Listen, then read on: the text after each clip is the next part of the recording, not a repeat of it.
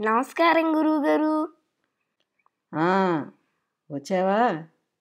కూర్చో. నీకోసమే ఎదురు చూస్తున్నా. నీకు మంచి మాట చెప్పాలి. ఏంటి గురువుగారు ఆ మంచి మాట? గత వారం నువ్వు పాడిన పద్యాలు విని శిష్యుని కంఠస్వరంలో పద్యాలు రాగయుక్తంగా సాగుతున్నాయి.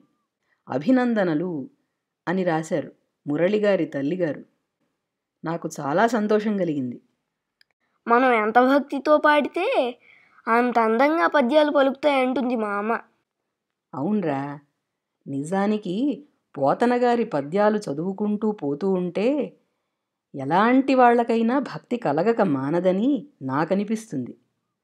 అసలు భక్తి లేని వాళ్ళైనా సరే పోతనగారి పద్యశిల్పాన్ని చూస్తే తప్పక ముగ్ధులవ్వాల్సిందే. ఇప్పటిదాకా మనం కళ్ళకి కట్టినట్లున్న పద్యాలు ఎన్నో చూసాం ఇవాళ్ళ చెవులకి కట్టినట్లున్న పద్యాలు చూద్దాం. చెవులకు కట్టడమా?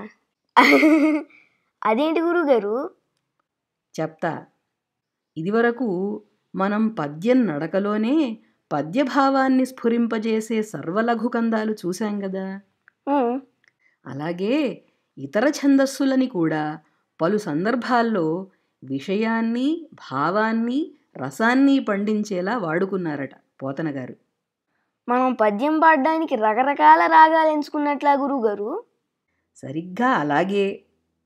ముందు పద్యాలు పాడుకుందాం. ఆ తర్వాత ఆ విషయాన్ని గురించి వివరంగా చెప్పుకుందాం. మొదటి పద్యం. మహాభారత యుద్ధం పూర్తయింది. తొడలు విరిగి పడి ఉన్న దుర్యోధనుడికి పాండవుల వంశ నాశనం చేస్తానని అశ్వత్థామ మాట ఇచ్చాడు. రాత్రిపూట వెళ్ళి నిద్రిస్తున్న ఉపపాండవులని చంపేశాడు. పారిపోయిన అశ్వత్థామను అర్జునుడు శ్రీకృష్ణుడు వెళ్ళి పట్టుకున్నారు. ఆవేశంలో ఉన్న అర్జునుడికి కృష్ణుడు అశ్వత్థామని ఎందుకు చంపకూడదో చెప్తున్నాడు. ఆ సందర్భంలోని పద్యమిది. పాడు. వెరచిన వాణి దైన్యమున వేదురు నొందిన వాని నిద్రమై మరచిన వాని సౌఖ్యమున మద్యము ద్రావిన వాని భగ్నుడై పరచిన వాని సాధు జడ భావము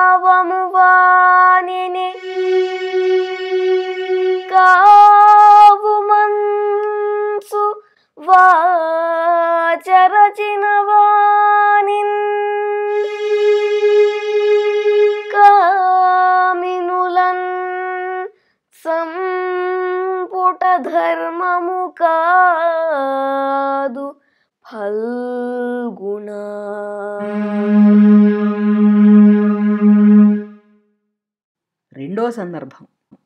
అశ్వత్థామను బంధించి విలపిస్తున్న ద్రౌపది దగ్గరకు తీసుకొచ్చాడు అర్జునుడు. నిద్రిస్తున్న వారిని చంపడానికి నీకు చేతులు ఎలా వచ్చాయి? అని ద్రౌపది అశ్వత్థామను ప్రశ్నిస్తోంది. ఉద్రేకంబునరారు శస్త్రధరులై యుద్ధావనిన్లేరు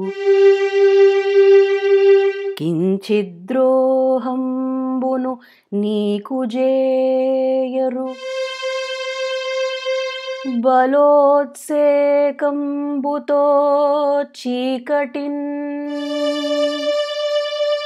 భద్రాకారులన్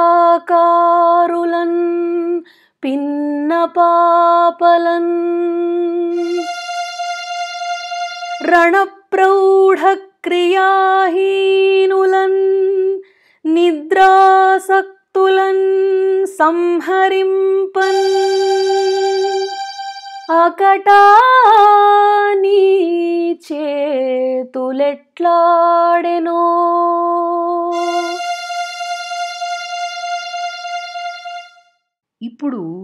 ద్వంద్వ శిల్పం గురించి నువ్వు చదువు.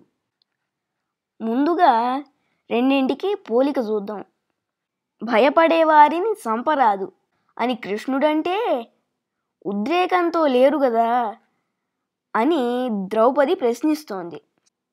నిద్ర మైమరచినవాని అని మొదటి దానిలో ఉంటే నిద్రాసక్తులన్ అని రెండో దానిలో ఉంది. అలాగే మొదటి దానిలో దైన్యము సాధుజడభావము కలిగిన వారిని ఓడిపోయి పారిపోయే వారిని చంపరాదు.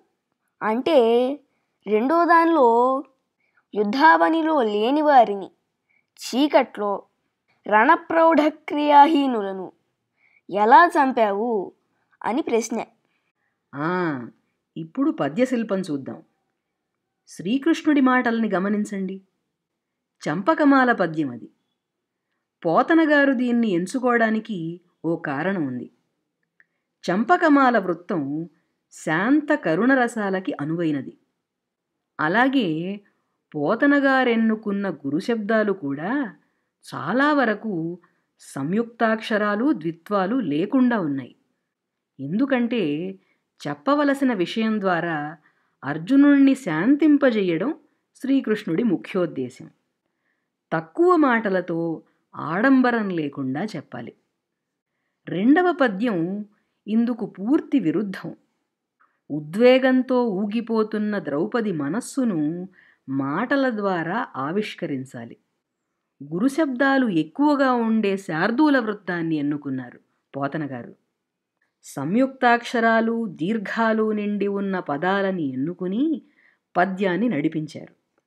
మొదటి మూడు పాదాలను ఉద్వేగంతో నడిపించి చివరి పాదం మాత్రం సంహరించన్ అకటా నీ చేతులెట్లాడెను అంటూ సంయుక్తాక్షరాలు లేకుండా ద్రౌపది మనస్సులోని దైన్యాన్ని నిస్సహాయతని మన కళ్ళకి గడుతున్నారు పోతనగారు.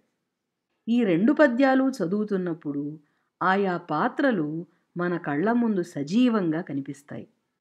అందుకే పోతనగారిది సజీవ శిల్పం అంటున్నారు మురళిగారు. పాత్రలు కళ్ళకి కట్టినట్లుండడమే కాదు వాళ్ళ మాటలు కూడా చెవులకు కట్టినట్లే అనిపించట్లేదు? అవును గురుగారు అసలు ఈ ద్వంద్వ శిల్పం మరీ ప్రత్యేకంగా ఉంది. కదా నేను అదే అనుకున్నా. సరే ఇంకా ఇవాల్టి పాఠం పూర్తయినట్లే. నువ్వు ఇంటికి బయలుదేరచ్చు. మళ్ళీ వచ్చే వారం కలుద్దాం. అలాగే గురుగారు. నమస్కారం. ಶ್ರೀಕೃಷ್ಣ ಕೃಪಾಕಟಾಕ್ಷ ಸಿದ್ಧಿರಸ್ತು.